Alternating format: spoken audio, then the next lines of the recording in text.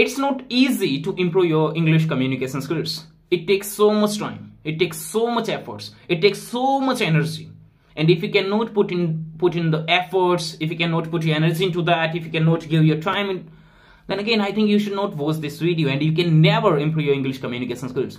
I have seen so many people making videos today and saying, if you want to improve your English communication skills, just make videos and you will be able to improve. I just want to ask them, how did you do that? Again so i would request those people stop lying to others. Stop just giving fake hopes to people. To be very honest again it's not easy. And i am going to share with you two to three things which can help you to improve your english communication skills. Number one your your mindset.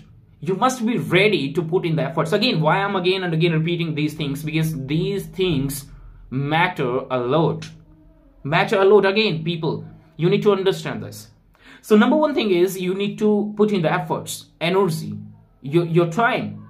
So if you cannot get maximum time not 10 minutes 15 minutes one hour if you cannot get maximum time you cannot learn you cannot improve.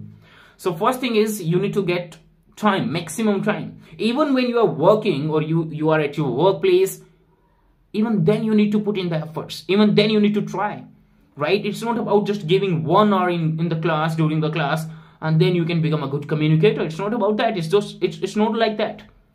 It's about 24 by 7 just giving time energy and everything 24 by 7 if you can do that thing awesome. Welcome. You can become that person. Number two you need to read write a lot. You need to read write a lot just speaking just you know gathering knowledge just collecting things it's not enough. You need to again write down a lot. You need to read a lot. When you read your fluency gets improved. When you write you become a person who uses KISS formula. KISS formula basically means keeping something short and simple. When you can keep your things uh, short and simple, you can communicate well. And I always try my best. Even today, when I, I was trying to make this video, I wrote down so many pieces because I wanted to keep my message really, really short.